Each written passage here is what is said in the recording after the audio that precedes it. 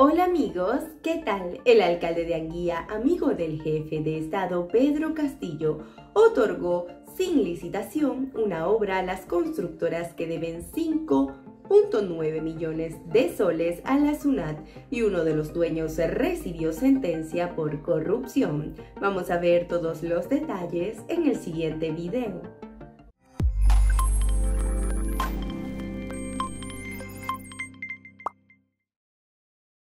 El proyecto de mayor inversión que dispuso financiar el presidente Pedro Castillo, la culminación de un camino que vincula a ocho comunidades de Chota, incluida la localidad donde nació el jefe de Estado, fue adjudicado a un consorcio de dos empresas de dudosos antecedentes. Fue el alcalde de Anguía, Nenil Medina Guerrero, amigo del mandatario, quien mediante la modalidad de invitación y contratación directa entregó la obra de 19,5 millones de soles a Ibérico Ingeniería y Construcción Y Grupo Constructor Parasol el 5 de octubre del 2021. Enil Medina dispuso adjudicar la millonaria obra sin licitación luego de haber mantenido reuniones en cinco ocasiones con el presidente Castillo el 7, 21, 22 y 30 de agosto del 2021 y el 5 de septiembre del mismo año. El proyecto comprende al pueblo donde nació Castillo. El alcalde es su amigo íntimo y también fue el presidente quien ordenó la transferencia de los fondos. Es muy difícil que el jefe de Estado no se haya enterado de la contratación de Ibervial y Grupo Constructor Parasol, en la que tenía mucho interés, como lo dejó sentado cuando el 13 de septiembre del 2021 anunció la obra en la misma guía. Al menos desde 2012, la constructora Ibervial aparece en el sistema de deudores coactivos de la Superintendencia Nacional de Administración Tributaria, con un monto acumulado de 5,9 millones de soles, y no es el peor antecedente. De acuerdo con la base de datos del organismo supervisor de contrataciones del Estado, Ibervial recibió dos sanciones, una por incumplimiento de ejecución de obra y la otra por presentación de información inexacta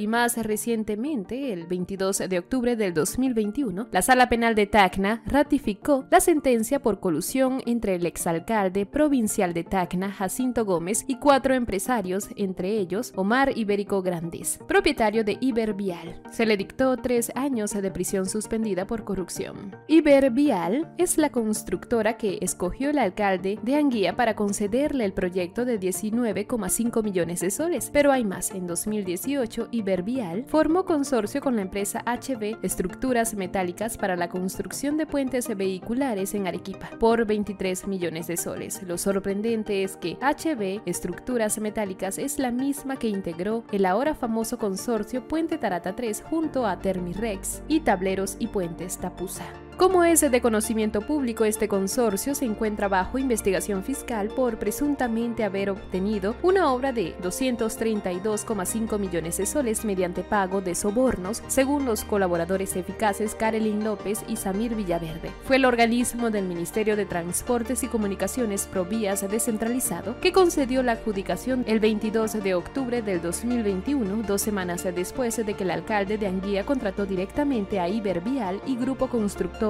Parasol. Reporteros de la República llegaron hasta la oficina de Ibervial en la cuadra 32 de la avenida Aviación, pero nadie respondió. De acuerdo con los vecinos, en la oficina no hay actividad.